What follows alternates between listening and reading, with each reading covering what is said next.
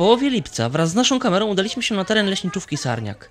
Właśnie tam od kilkunastu dni trwają półkolonie letnie dzieci i młodzieży z terenu naszej gminy, organizowane od lat przez Stowarzyszenie Szansa.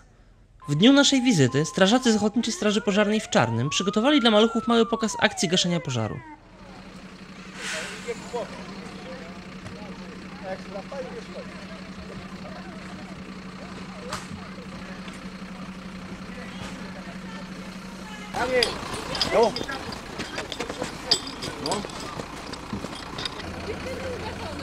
Wizyta strażaków to tylko jedna z wielu atrakcji, jakie przygotowano dla podopiecznych Stowarzyszenia Szansa.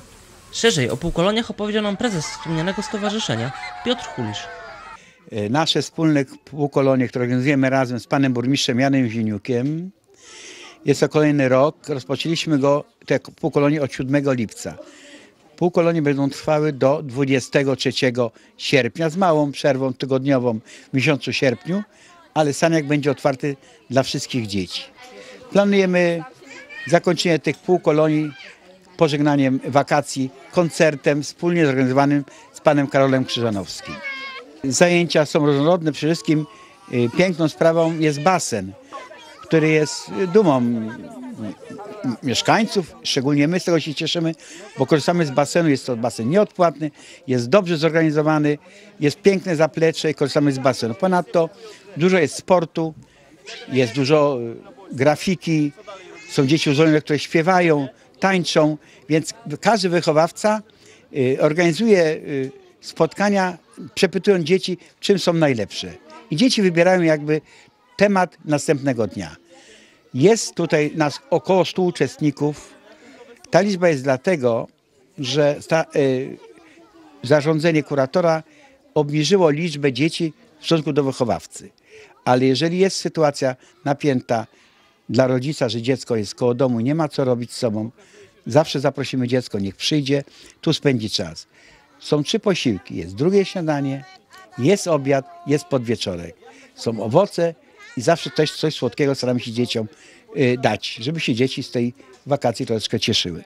Każdy uczestnik nie płaci nic ani złotóweczki. Osoby, które ze mną na czele jako zarząd nie, nie pobiera żadnych opłat i wychowawcy w tym roku pracują nieodpłatnie w ramach kontratu. Dlatego będziemy starali się na koniec tego wypoczynku serdecznie im podziękować i przedstawić ich, że to są osoby, które dla dzieci robią wszystko. Mamy między innymi takie wymyśloną gry zabawy jak dzień w piżamie i inne takie rzeczy śmieszne, ale na ten koncert 23 sierpnia zaprosimy i rodziców, i pana burmistrza, osoby, które zechcą z nami się pobawić, bo to będzie koncert, że każde dziecko od siebie coś da. Piosenkę, wiersz lub jakąś teatrzyk. Będzie teatrzyk też kukiełkowy, do tego się dzieci przygotowują.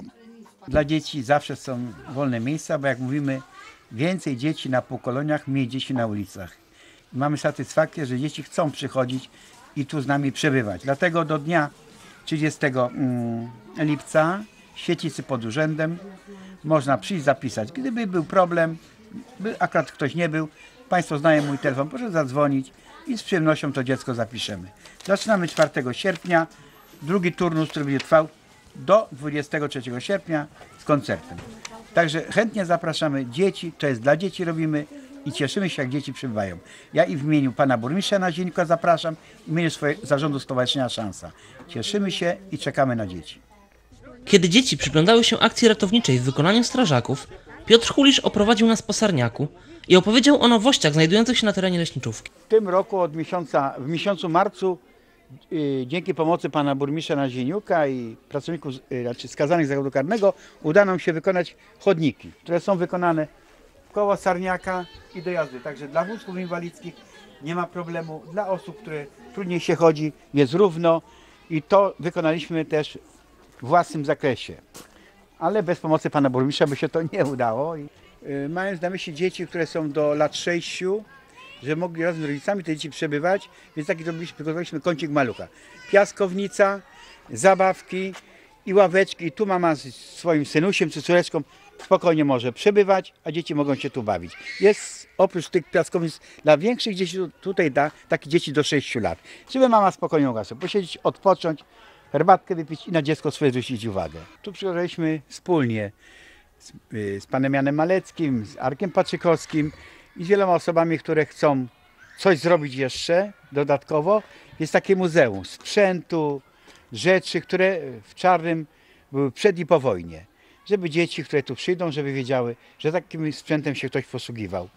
Jeżeli Państwo posiadacie w domu lub w swojej zagrodzie sprzęt, który ma swoje lata, a jest niepotrzebny, prosimy przynieście tutaj, my go pokwitujemy i ten sprzęt zostaje, nie zostanie sprzedany. Będziecie Państwo ładnie w końcu zapisani, że wnieśliście swój wkład. I z góry dziękuję, jeżeli ktoś będzie zechciał.